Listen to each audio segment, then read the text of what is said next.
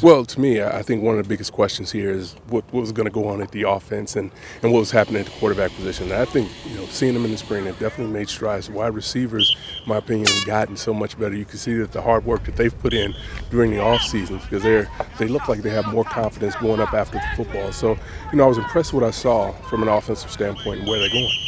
You know, I thought they got a ton done when you consider that they had about 140 play scrimmage, I think, yesterday, including special teams. Uh, they came out in full pads. I told Coach Dantonio I was afraid they were going to be in shorts and t-shirts. So uh, obviously we've seen more physical practices, we've seen longer practices, but I don't know that we've seen a better practice after 140 play scrimmage. Man, you know, this defense is, I mean, year in and year out. You know, it's just really a matter of how much better can they get and you know they're so athletic, they're so talented, particularly in the safety uh, in the corner position. The back end has so much ability back there. Linebackers, defensive linemen.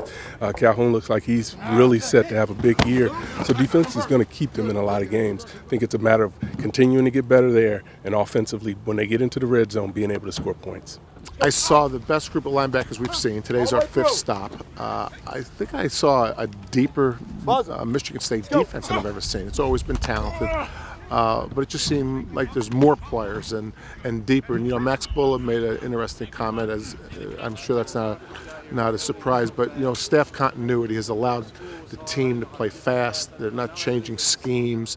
Uh, they know what they're doing, and, and I think that really comes through when you watch the defensive coaches work the things that I got answered in the spring, it looked like you were further away at running back than wide receiver, and today it just looked like it all came. It's all coming together. You certainly have enough talent at those two positions.